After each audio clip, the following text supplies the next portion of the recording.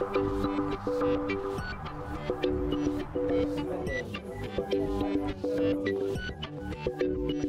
moment that we're creating something beautiful to the eye, the human eye, is art, it's an art piece.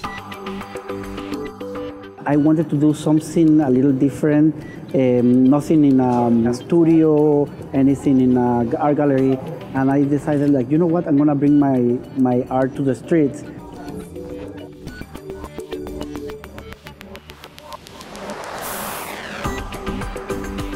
I needed a model that really wanted to do this, a model that have the energy and have that flair and that sexiness.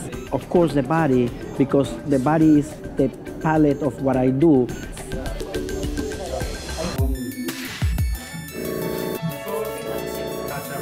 I've always wanted to do body painting. I love to model. It's been a passion of mine since I was just a you know a little girl. Beth used to be Venom for American Gladiators. She's very comfortable with herself and her body. Her energy and her beauty go beyond.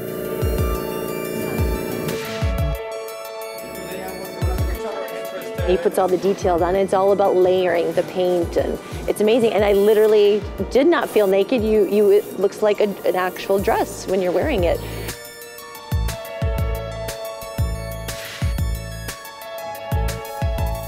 A body painting is about the body, but she never felt naked. She was nude, like a piece of art.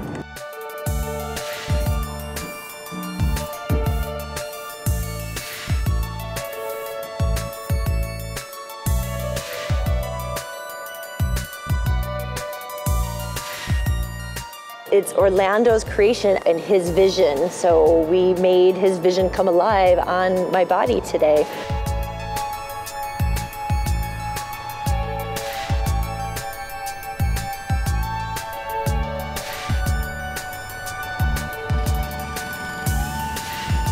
Then we went to the Art Institute.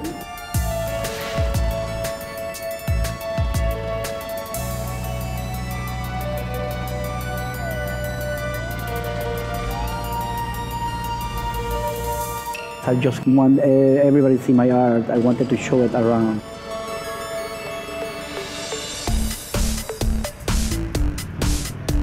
People were loving it. People were taking pictures left and right and just saying how beautiful, how gorgeous this whole getup is.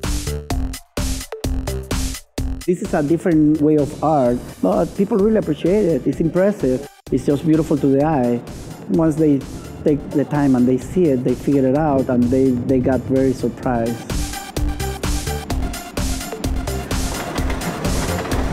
This is exactly what I needed to do. Perform and create something beautiful.